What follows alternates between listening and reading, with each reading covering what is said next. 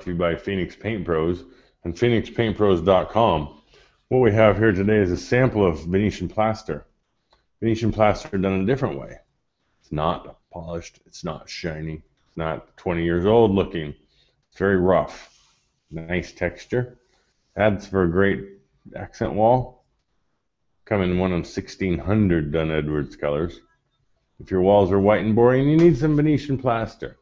You need us to come out and add a little spice to your wall.